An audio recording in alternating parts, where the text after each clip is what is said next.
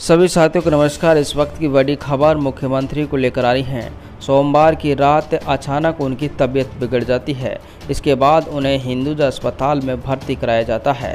यहाँ पर डॉक्टर हालात को गंभीर देखते हुए उन्हें आईसीयू में भर्ती कर देते हैं। फ़िलहाल उनका आईसीयू में ही इलाज चल रहा है। जानकारी के मुताबिक बताया जा रहा है, उनके मस्तिष्क का ब्लड सर्कुलेशन करने वाली जो नस हैं, वो ब्लॉक होने की कगार पर हैं। ऐसे में उनकी तबीयत बिगड़ी है। हाल फ़िलहाल जो अस्पताल से खबरें सामने आ रही हैं, उसके मुताबिक हम आपको देंगे संपूर्ण जानकारी विस्तार से। दरअसल ये घटना महाराष्ट्र की बताई जा रही है। महाराष्ट्र के पूर्व मुख्यमंत्री रही मनोहर सिंह जोशी, जिनको वर्तमान में मुंबई के हिंदुजा अस्पताल में ही भर्ती कराया गया है। जानकारी के मुताबिक बताया जा रहा है, मनोहर जोशी के ब्रेन ट्यूमर होने की वजह से उन्हें अस्पताल में भर्ती कराया गया है। आपको बताना चाहेंगे, वो महाराष्ट्र के पूर्व मुख्यमंत्री रह चुके हैं। साथ में लोकसभा के पूर्व अध्यक्ष भी हैं और शिवसेना के बेहतर नेता माने जा रहे हैं। जैसे ये खबर यहाँ पर उद्धव ठाकरे को लगती है तो उद्धव ठाकरे और उनकी पत्नी रश्मि ठाकरे थोड़ी देर के लिए मनोहर जोशी से मिलने के लिए हिंदुजा अस्पताल में पहुँचते हैं और हालचाल पहुँचते हैं। हालाँकि डॉक्टरों का कहना है कि अगले 24 घंटे उनके लिए बेहद अहम बताए जा रहे हैं।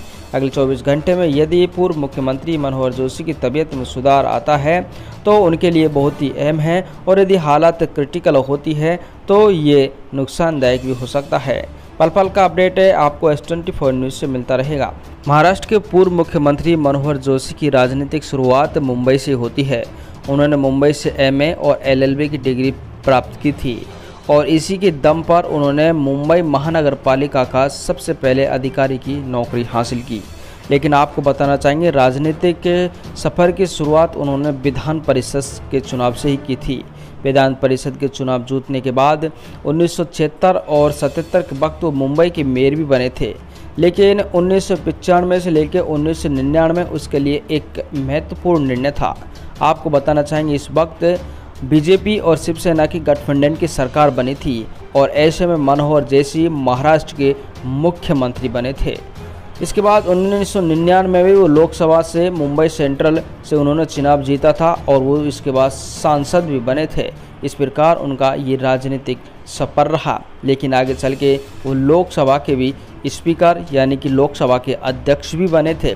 इस प्रकार वो शुरुआत यहाँ पर नगर पालिका के अधिकारी से लेकर शुरुआत उसने लोकसभा के अध्यक्ष तक की थी। और इस वक्त वो अपनी ज़िंदगी और मौत से अस्पताल में लड़ रहे हैं। उनकी सुरक्षा के लिए और उनकी स्वस्थ की कामना के लिए ईश्वर से प्रार्थना ज़रूर करें। कमेंट बॉक्स में लिखना बिल्कुल भी ना भूलें।